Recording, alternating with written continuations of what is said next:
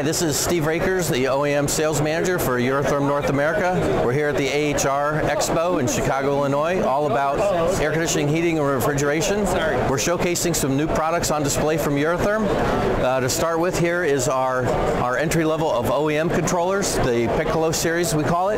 Comes in three distinct sizes to match uh, your, your unique needs. Very simple product, shows you the actual process value on the top, it shows you the output on the third display, and if you have any alarm conditions. Very simple product to use. Uh, up from that, we have our, our 3200 series, um, which also available in three different sizes, 16th DIN, 8th DIN, and quarter DIN. And from there, we move up upscale to our more advanced new product, our EPC 3000 series, is uh, Ethernet ready.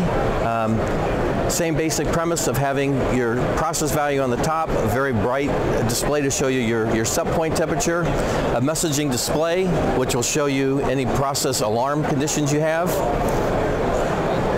These come standard with Modbus uh, RS, uh, RS485 communications and an Ethernet upgrade.